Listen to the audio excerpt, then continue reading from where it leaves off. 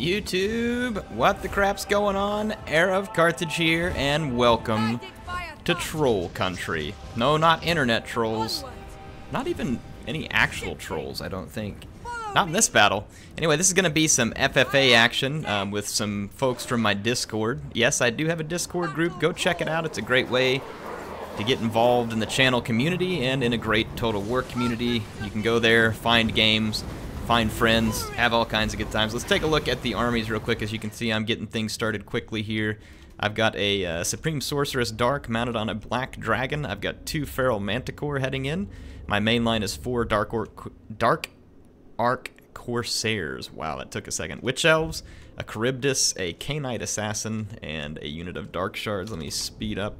Scream across the screen real quick. There's some um, Tomb Kings over here. There's two Tomb Princes flanking Khalida. Ushabti with Great Bow, a Chosen of the Gods, Ushabti with Great Bow. I see three halberds here in the center. There's a uh, Blessed Legion, a Scorpion Legion, and some Necropolis Knights with halberds. A couple of Chameleon Skinks out here for the Lizard Men player, commanded by Rabid Squirrel, and that was Holy Pilgrim, by the way, with the Tomb Kings.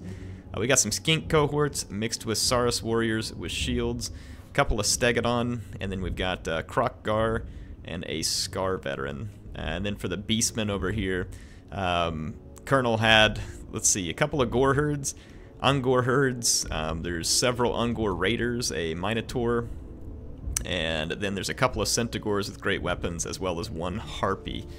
Now, uh, let's get into the action quickly. Let you see what happens on my side first. I'm going to hit the Beastmen. Um, I deployed towards them. I figured my Black Ark Corsairs, uh, with their decentish armor, and anti-infantry qualities would be good at coming and bruising the Beastmen. Also, I knew I had several units that cause fear and terror, and I wanted to play on the Beastmen's inability to counter that sometimes. They can sometimes counter it, but I wanted the Charybdis in here, and then uh, I knew if I could contain the Centaurs with great weapons, and be in good shape. That's why I hit them with a breath attack. I wanted to go ahead and weaken them up. See the Black Ark Corsairs here engaging the Ungors. They should do quite well versus these Beastmen unit. Bestigor herd, not so much. Yeah. Let's see we're going to get in here. The Minotaurs come flying in, which is actually good because those were Witch Elves right there.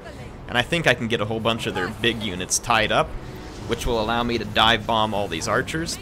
And that's exactly what I'm going to do. I'm going to try and save the magic and breath attacks on my dragon in case I make it to late game. I want to have some potent effects.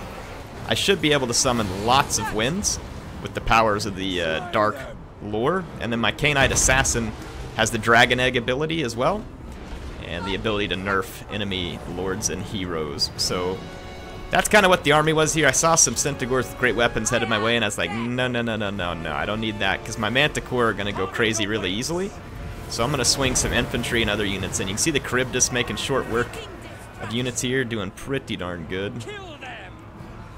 We do have to deal with the uh, the Cygor, and then there's going to be a Cygor summon by a beast, uh, Shaman, Lore of Beast, which is going to be a little bit problematic for me, but we'll be all right. I'm going to just run away, want to run away from it with my Dark Shards. What I meant to say. Let's go see what's happening over here with Beastmen and Tomb Kings.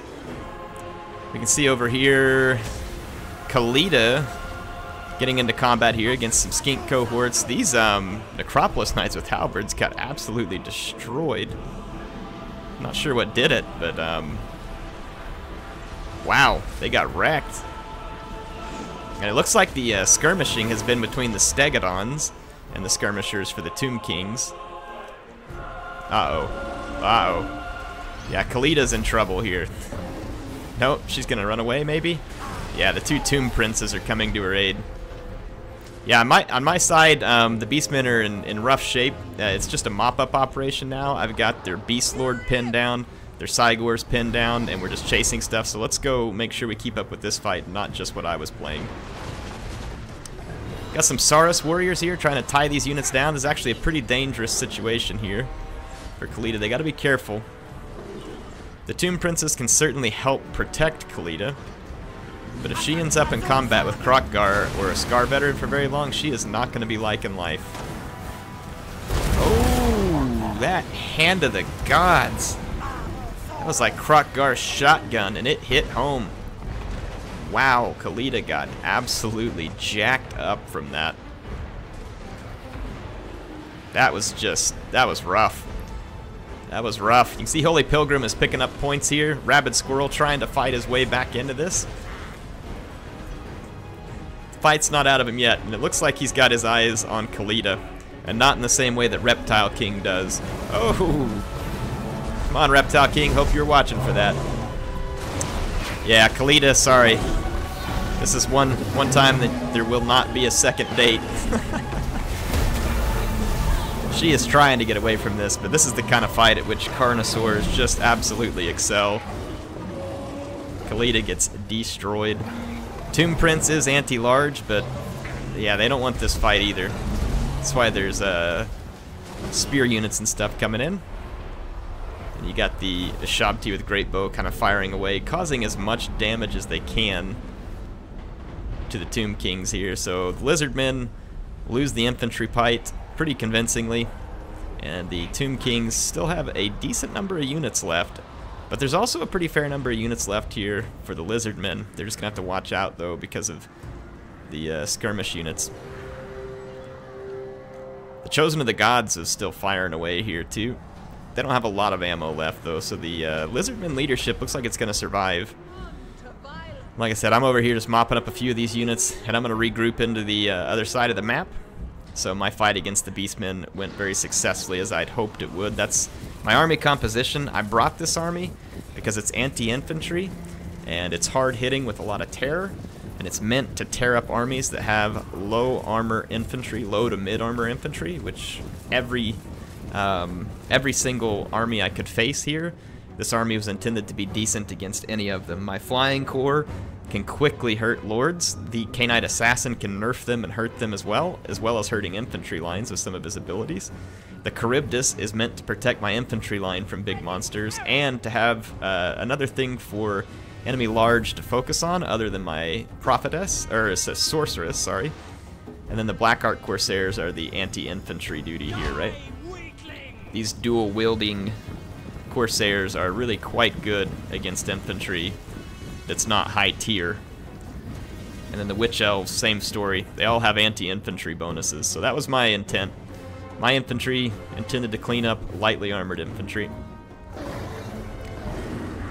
The Lizardmen lined up here like they might actually want to fight, but then I think they thought better of it. You can see the Beast Lord here still being chased off the field. I'm going to go ahead and fast forward just a second because all the players are going to kind of reset a little and try and get in better positions. I brought my dragon up thinking I might try and do um, a Blade Wind. I do have Blade Wind, um, but I decided instead um, that I see some good opportunities for Soul Stealer. I need to get a few of my hit points back. I had full winds of magic at this point, and there's a Scar Veteran that's about to die anyway, and then there's also a Tomb Prince who's about to die. So I was like, yeah, this is probably my opportunity. I'll go use it. So the Scar Veteran didn't want any of it, and I was like, all right, that's fine. I can target the Tomb Prince. So I'll fast forward again here. The poor Tomb Prince isn't going to be able to get away from me. See, some of my infantry has had a chance to get rested. They're not going to like fighting Stegodons and some of the other stuff that's going to be left here, like Ushabti. Yeah, not going to be the best of times. This Tomb Prince is going to be sacrificed to the Sorceress. She's going to suck the unlife out of him, the life out of him, whatever it is case. That'll give me some of my hit points back. Give my dragon a little more life and time on the battlefield here. And I've got um, my Arcane Conduit.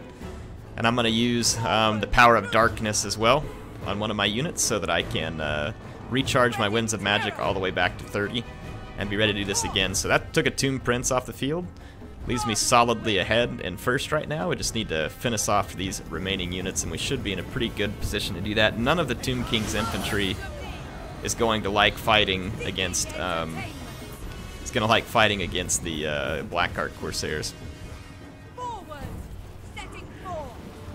Black Ark Corsairs looks so dang cool. Druchii, Druchii, yeah, these uh, spearmen are going to be perfect fodder for my Witch Elves. So I'm going to send them in. Really probably should have saved these for the big units to make them berserk, but I was like, whatever. Witch Elves going to slay. Yeah, they're going to lay waste to these skeletons. And then the Black Ark Corsairs, again, will do very well. These are actually the uh, leftover bowmen who were out of ammo. I'm going to dive my lord in here and help against all these Ushabti. But I'm not going to stick around for too terribly long, if I can help it. Because there are um, halberds around. But I see an opportunity to get a bunch of damage done on the Ushabti, and I was like, yep, let's do it. Jump in, let's do the damage. See the Witch Elves over here already mopped up that whole legion of skeletons quite easily. Not that it was worth much, and you can see back here again the Halberds not really liking the fight against all my Black Ark Corsairs. And then when the Halberds reach me over here, rather than stay and fight and take a bunch of damage, I'm just going to get all my monsters away, let the Black Ark Corsairs tank the rest of that damage, because the Tomb Kings are getting a little bit of healing here anyway. So I'm able to get up and away. My Dark Shards are still safe. The summoned Ushabti comes up. I've got a Corsair here, though. I'm just going to pin it down before it can get a bunch of charges. My Khainite Assassin is still in decent shape. I use him here to nerf the Scar Veteran. And uh, that way I can dive bomb him get rid of him. So he thought he was going to come in here and try and get a piece of this action, but the Khainite Assassin nerfed him down pretty hard. Assassin's Trophy. And then he's going to get knocked out before Kroq-Gar can show up to support. So he, he got involved a little too early. But here comes old Crocky. Fortunately, we were able to get away. And because I want to land a big charge on Kroq-Gar. Over here, my Charybdis finally gets bogged down in a fight it shouldn't be in. It's picked up three chevrons, though. This thing has done spectacular work. Kroq-Gar decides to go for it. And uh, I'm going to go ahead and dive bomb him with my leadership. And I hit him with the Soul Stealer as well. So my Lord's to, again, replenish some of her hit points. And then get a hold of Kroq-Gar. So Kroq-Gar should be pretty much out of the fight. My Khainite Assassin's over here putting up an epic fight. He's a one-man cutting crew here. And he manages to survive in the face of all these Ushabti and these other infantry. He used his Dragon's Egg thing, and it actually did pretty good. Helped kill off a few leftover infantry units. Kroq-Gar is chasing off my Charybdis, trying to finish it. And the Tomb Prince is in turn chasing Kroq-Gar hoping to get the kill. These two are going to end up killing each other, I guess. Not if I don't get to him first, I guess. Looks like my uh, my Manticore is going to go berserk. Yeah, it gets the Tomb Prince, and then Kroq-Gar is going to take off. So that leaves us with a couple of Stegodons, my Khainite Assassin. My Black Ark Corsair is going to try and hunt down these regrouped Saurus warriors. They should be able to do so pretty easily. There they go, they're going to catch them. Black Ark Corsairs are pretty fast. My assassin finally does rout, but he did a spectacular job. Kept the Stegodons busy. Now I should be in pretty good position to finish up this fight. I got a few infantry to help weaken up his halberds. His halberds could stay alive, he might have a chance to take me down with the Stegodons, but I feel pretty comfortable at this point that I've got the right units. My Black Ark Corsairs should be causing pretty tremendous damage here. Check that out. Soul Stealer. Gonna get a lot of my hit points back, use up one of my last breath attacks, and uh, got up to 105 kills now on the Supreme Sorceress. We're gonna be able to get rid of these Tomb Guards. So they're pretty much gone, but that just leaves the Stegodons. A few of my units regroup here and there in the background. But it's time to get rid of Stegodons. One of them's gone, I'm just going to chase it out, and then my dragon's going to come finish this one off. So there you go, the Supreme Sorceress. The last bit here, going to finish off the Stegodon. There comes some Witch Elves to help. I'm to actually use another Dragon's Egg over here on these guys just for fun. I don't think it even does anything. I was like, eh, last second, might as well use it. There you go, folks. I ended up with a Pyrrhic victory in this one. Really want to appreciate uh, Holy Pilgrim, Rabid Squirrel, and the Colonel jumping in on quick notice to come play some FFAs with me. I hope you all like these. I just wanted to do a couple of FFAs. I haven't done, I know I did one on the live stream, but that's another reason why I have this Discord. If y'all want to play battles with me, like when I'm to sit down and record, I'll probably just come into the Discord and say, all right, who wants to join? Let's um, let's play some battles. And we'll start doing it that way. So if you guys want to join the Discord, I'll, I'll still probably do some quick matches here and there, but this way, if you want to be involved, hopefully want to be in the videos, play battles with me, come have fun. Like I said, go join that Discord. If you enjoyed the video, make sure and hit the thumbs up button. That helps me a lot, helps people find the videos, and uh, helps us bring more folks in, grow the community. And if you want to see more, make sure to subscribe, click the bell so you get the notifications. And I hope to see you there on that next video, because I will be back with more soon. See you later, folks.